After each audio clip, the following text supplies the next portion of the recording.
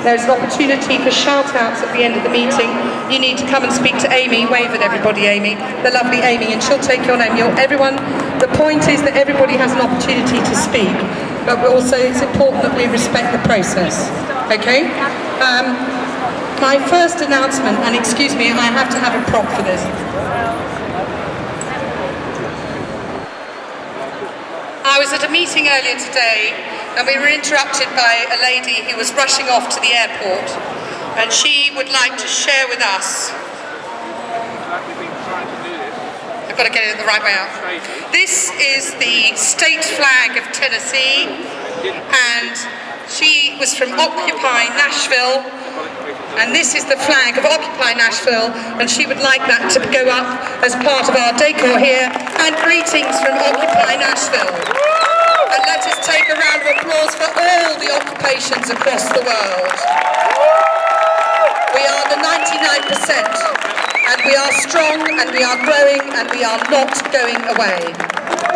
And if anybody here would like to volunteer to put that up somewhere appropriate, that would be really good. And take a picture, you'd love a picture if you could upload that perhaps onto the website. Okay, we have a volunteer. Please come and get the flag. Okay. Thank you. Um, okay, so um, let me just, I'm sorry for those of you who've heard this all before, but I think it's really important that we start every meeting to explain to those of you who haven't been before what the process is. We are operating direct democracy by consensus. Is there anyone here who'd like to come and explain the hand signals? Okay, yes, we have a, we have a volunteer. So, um, the, the, in order to make meetings work effectively, keep your points positive and um, proactive. Please try not to repeat the points that were made before. And we have some quite important hand signals, which if you're not familiar with them, my friend here is about to come and explain.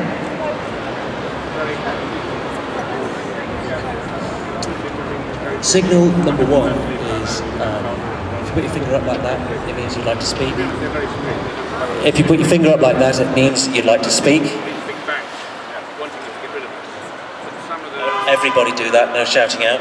If you can't hear, do that. If you have a technical point, which is not about the subject of the conversation, but like a tent is on fire, uh, or, or some information was given out wrong, like we'll see you at 4 o'clock, but actually it's 5. Is that right? Technical point? If you have a point which is uh, directly relating to some, something that someone's just said and you'd like to jump the queue,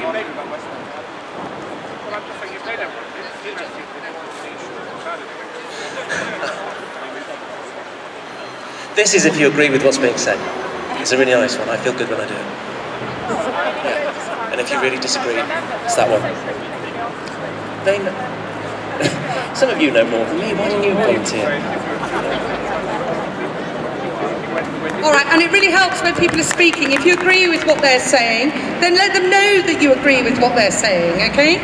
And if you want to address the meeting, you need to come and speak to Amy, and she will help to facilitate that for you. Okay, so um, I have. I, I hope that, that there is someone here to update us from Finsbury Square. Okay. Uh, if there is somebody here to update us from Finsbury Square, can they make their way here, please? Um, a, a couple of things that you need to know about the process tomorrow. Working groups uh, generally meet at 10 o'clock. There is a process group, and the process group are the sort of people helping to organise ourselves, and they'll be meeting at 10 o'clock and again at 5 o'clock, and the process group at 5 o'clock will set the agenda for this meeting tomorrow night. Um, I've also been asked to share something with you all, and I would, this is really important, people. There are lots of people watching us and the way that we conduct ourselves. And there have been some issues about, let me just describe it as antisocial behaviour. And it has been, it has been a long going discussion, and there is a meeting tomorrow at six o'clock to discuss making this a drugs and alcohol free zone. This is something that has happened in other uh, Occupy zones. Uh, Finsbury Square have declared themselves to be a drug and alcohol free zone. I do not propose that we discuss it at the meeting tonight because this is a political meeting and we're going to talk about politics tonight. But if you, if this is something that is, concerns you, the meeting will be at six o'clock tomorrow. And if you are here, can I ask you to please respect that there are many people at this camp who are camping out here at night and going to work every morning, and they need a good night's sleep and we have to police ourselves together and look after ourselves together in our new society. And please, will everybody we cooperate with that? Thank you very much. Okay, so let us, um, the other meeting I have to advise you of is that there is a group who want to discuss the revision of the initial statement and I will read the initial statement at the end of this meeting because it's quite uplifting to finish the meeting on that point. So if you are interested in discussing the revision of the initial statement, that meeting will be at five o'clock tomorrow. As with all things, this should be communicated through the information tent. Okay, this is the point in the meeting where we are welcoming updates from working groups and from Finsbury Park. I will ask people to keep their reports back for a minute. And just so that you know what the agenda is, once we've had those reports back from the working groups, um, we have a proposal about outreach, and then there will be discussion groups for half an hour, and then there'll be a brief report back from that, and then after that will be shout outs. If you want to make a shout out, Amy is the woman you need to speak to. Thank you. Do we have a working group update, please?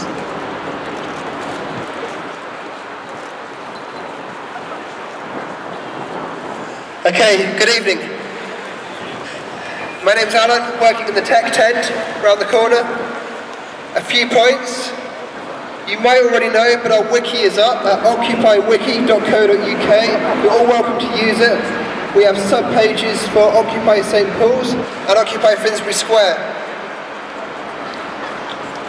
I've been over to Finsbury Square. One of the things the tech team are really requesting there are tables and more laptops.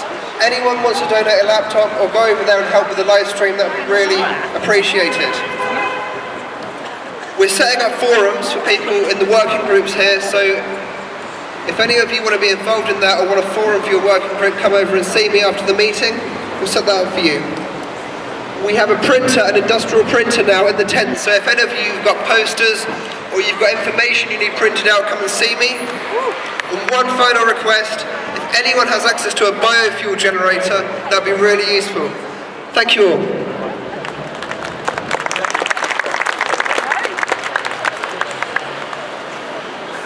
Okay, um, it's not Finsbury Park, it's Finsbury Square. uh, it's absolutely lovely. It's a lovely big square of grass. It's a bit quieter than here. Um, we've got about, I don't know, perhaps 60, 60 small tents and one lovely big marquee. It's actually the kitchen marquee that got blown down in the gale a, a couple of days ago, and it's now looking absolutely magnificent. Um, We've got beautiful banners all around already. It's very, it's, it's very mellow. So, any, and I would thought if somebody wants a quiet night, um, you've got to get to work in the morning. It might be a good idea to just, you know, check out um, how Finsbury Square uh, feels. Um, I'm just going to ask Chris here, my colleague here, the other Chris, to just say a few things about some of the things which we need uh, and about the kitchen concretely. Chris. Uh, we only really need tables and chairs and things like that brought over there. Like, uh, there's loads of food, there's another kitchen like we've got running here. Yeah, just some more tables. If you know anyone that's got tables, you can bring them down, comfy cushions, things like that. It's a nice quiet space that we've got over there. Anyone's welcome, like as here. That's about it, I think. I know the kitchen here as well is still running smoothly. There's hot food constantly. Yeah, everything's good. Perhaps, perhaps just say that um, in our dreams, in my dream anyway, we kind of bud out a bit, and we kind of bud out so that we're this side of the Bank of England, we're the other side of the Bank of England, maybe another one on the other side, maybe four or five around the Bank of England, building up to kind of um, doing, a, doing some like magical spells around the whole Bank of England, and maybe, maybe towards uh, November the 9th and November the 30th. And, and especially, obviously, the first one is Halloween. Let's spook them.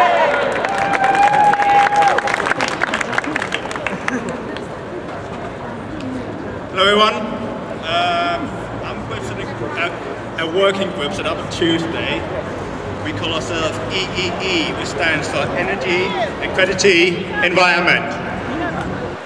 Um, and we firmly believe that climate change should be at the core of this movement. Um, we have spent the last few days putting together a, a text that I agree is by no means perfect, but we, we think that should include, be included in the initial statement somehow. And I'm just gonna read that up to you now. Yeah. The present unjust and exploitative economic system also pollutes land, sea and air. It's caused massive loss of natural species and environments and is accelerating humanity towards irreversible global warming. We call upon individuals, organizers and governments to co-create a sustainable economic system that benefits present and future generations. If anyone, ideally I would like to put this to a vote to, on this General Assembly to, for it to be included in the initial statement, but I understand it might not happen tonight. Um, this group is meeting again on Wednesday afternoon, and we also run an email list uh, that anyone who wants to be involved in that email list can come and speak to me at any point now.